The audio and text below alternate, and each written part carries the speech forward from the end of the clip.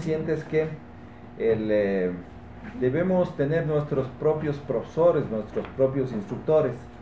Pero esta vez el, el, Ballet Ecuatoriano de Cámara nos va a proporcionar dos profesores para incidir aquí exactamente en, en hacer eh, la formación de instructores, tanto de ballet urbano como de ballet clásico.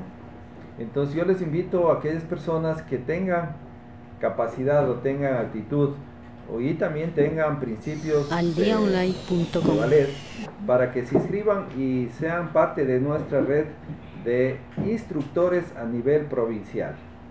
Mi llamado es a todos los, los jóvenes, las personas que, que, tengan esta inclinación, tanto profesores, pueden ser profesores de educación física, que también pueden incidir en esta situación, para que se presenten. Los cursos van a ser los días sábados, todos los sábados por tres meses. Va a empezar la primera semana de julio y va a terminar en septiembre. En agosto se va a hacer un curso intensivo aprovechando que estamos en la temporada vacacional.